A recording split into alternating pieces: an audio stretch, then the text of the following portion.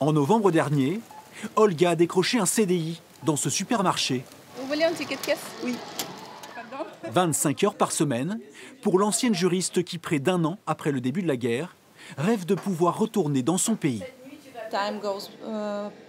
Le temps passe et personne ne peut aujourd'hui prédire quand la guerre va se terminer.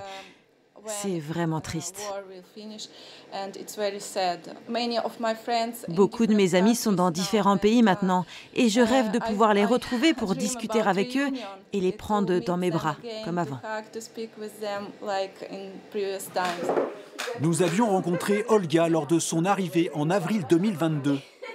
Comme elle, une soixantaine de personnes avaient trouvé refuge dans un village vacances. Avant, pour certains, d'occuper une habitation plus pérenne à Civray, devenu un territoire d'accueil pour les ressortissants ukrainiens. Aujourd'hui, on a 20 personnes sur Civray, 20 autres sur euh, Poitiers et les alentours, et puis euh, une quinzaine à peu près qui sont retournés en Ukraine.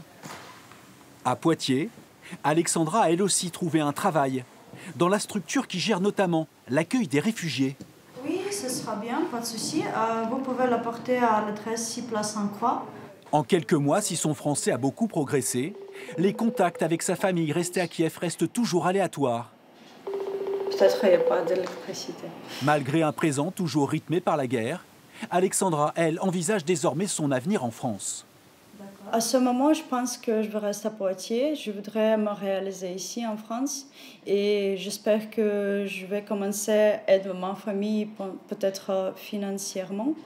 Euh, et oui, je voudrais me réaliser ici. Difficile de connaître le chiffre précis du nombre de réfugiés. Dans la Vienne, ils sont officiellement 573.